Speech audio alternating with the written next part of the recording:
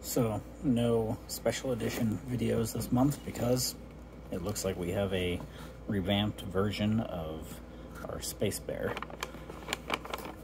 Possibly a new decal, but same Space Bear coffee and maybe some new artwork. I'll have to say I like the old Space Bear decal better. A little bigger, a little more detail, easier to read. The new one definitely improved a little when it comes to the darker tones in the graphic, but yeah, I think still the same Space Bear coffee.